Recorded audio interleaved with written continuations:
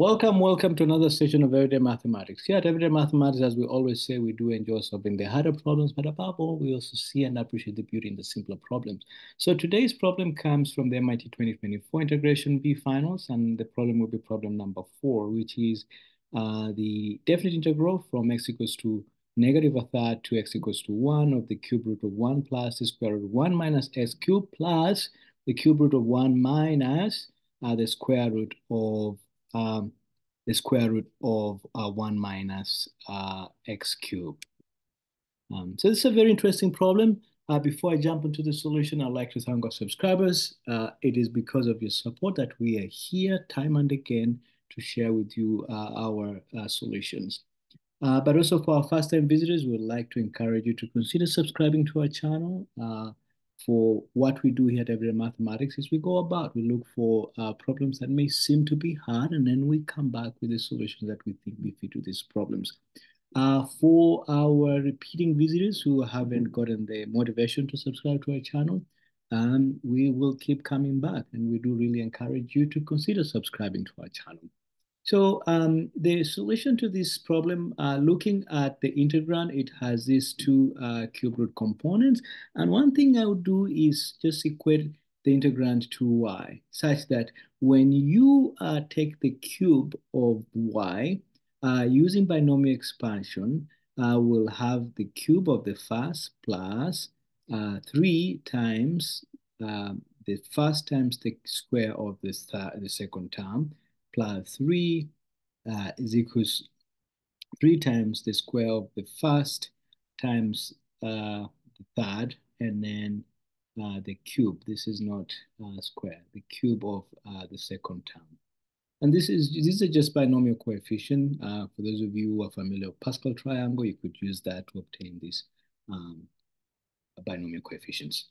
Um, so what this results to is the the three, the power three here negates the cube root sign on the first and the last uh, term here, um, such that uh, when you look at this, um, this term here is equivalent to this term, but the signs are opposite, so this and that would cancel out. And then here, uh, we can now pull out 3 and also the product of the first and the second term here so that what you're left with is the sum of the first and the second term, which means that this component is just y. So we have 2 plus 3 uh, times the first and the second term times y. Now, as you can see, we can combine this cube root sign, and so you have the product of the sum and the difference, which means that this is same as the square of the first and the second minus the, the, the, the second term.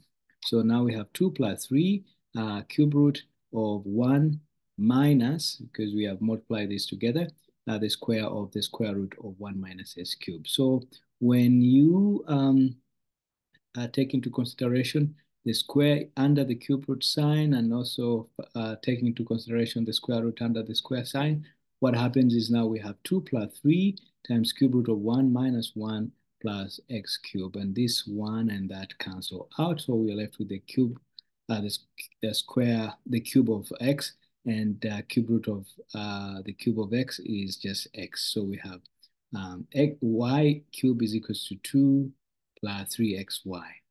Now what that means is that now if we differentiate 3y squared dy dx is equals to, um, the 2 is a constant, so that's a 0, uh, plus uh, differentiate with respect to x, we have 3y plus with respect to y, so we have 3x dy dx.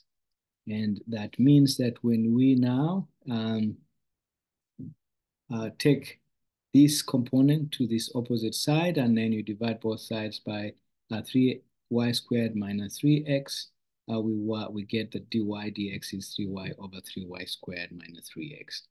And then now what that means is that 3y squared minus 3x over 3y dy is the same as dx.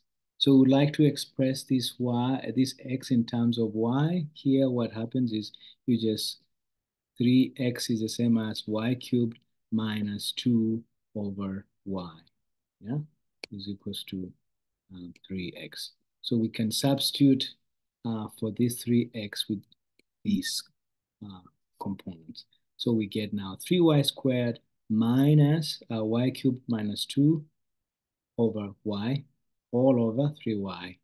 And so what that means is that we have 3y cubed minus y cubed, uh, in bracket y cubed minus 2 over 3y squared. And so that means that now we have 2y cubed plus 2 over 3y squared dy can be substituted uh, for the dx in the integration. Now, uh, since uh, y is equal to the cube root of uh, 1 plus the square root of 1 minus x square uh, cube plus the cube root of 1 minus square root of 1 minus x cube. Uh, and we've also found that y cube is equal to 2 plus plus 3x y. uh. So when x is equal to a third, when you insert a negative a third here, we get y cubed is equal to 2 minus uh, y. And so um, that means when you take everything on the right to the left, that means that y cubed plus y minus 2 equals to 0. So um, a very quick uh, trivial solution is when y is equals to 1, um, when y is equals to 1, uh, that equation holds, right? Um, and then the next thing, um, we also know that when x equals to 1, uh, we can substitute in 1, and what we find out is that uh, y is equals to 2.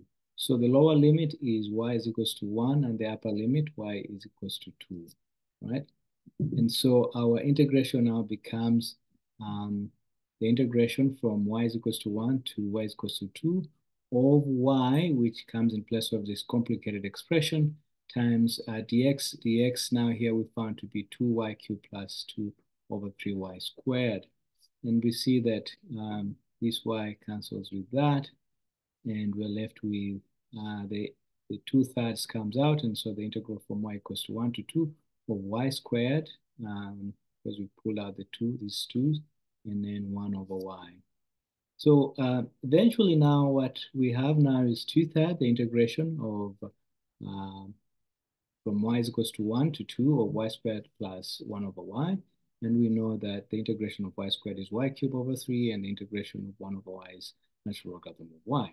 And so substituting in um, the limits, that uh, amounts to 2 over 3 uh, for uh, the first uh, component. This is uh, 2 cube over 3, which is 8 over 3, minus 1 over th 1 cube over 3, which is a third, plus log 2 minus log 1. So this one here, as we know, tends to 0. Natural logarithm of 1 or log of any base of number 1 is 0.